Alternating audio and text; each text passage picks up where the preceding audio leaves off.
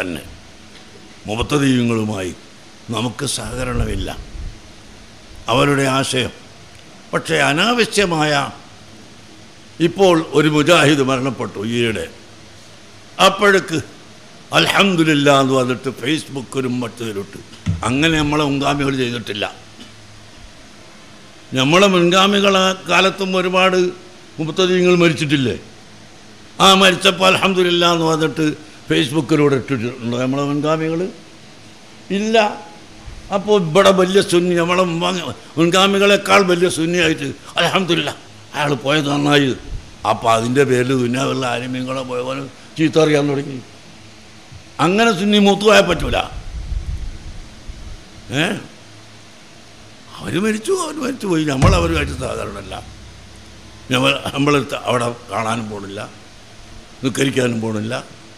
അവരവരെ ഹാലിൽ നമ്മൾ നമ്മളെ ഹാലിൽ അതിന് അലഹമില്ല എന്ന് പറഞ്ഞിട്ട് ഫേസ്ബുക്കിലിട്ട് ഫേസ്ബുക്ക് എന്തോ ബുക്ക്?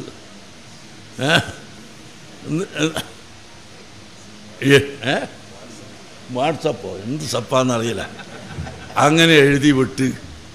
ആ എഴുതി വിട്ടതിന്റെ പേരിൽ ഇവിടെയുള്ള മുഴുവൻ ആലിമീങ്ങളെയും യുവാക്കളും ബുദ്ധിജീവികളും അഭ്യസ്തവിദ്യരും എല്ലാം ചീത്ത പറഞ്ഞില്ലേ?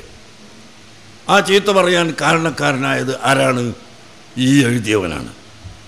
അങ്ങനെ ഒരു എഴുതുന്ന അത്ര മൂത്ത ശൂന്യാവണമെന്ന് നമ്മളെ വിലമാവ് പഠിപ്പിച്ചിട്ടില്ല. നമ്മൾ പഠിപ്പിച്ച് അവിടെ നിൽക്കണം. അതിന്റെ അപ്പുറത്തോട്ട് സുന്നിയായാൽ അത് സുന്നിയല്ല.